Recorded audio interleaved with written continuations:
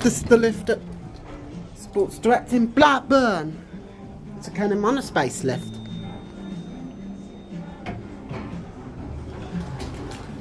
We'll go up to one.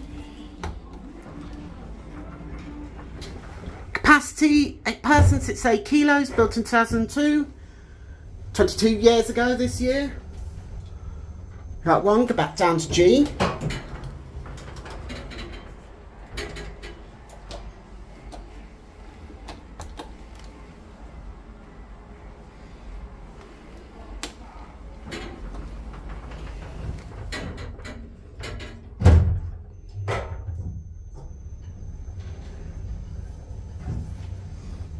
Here we are back at G.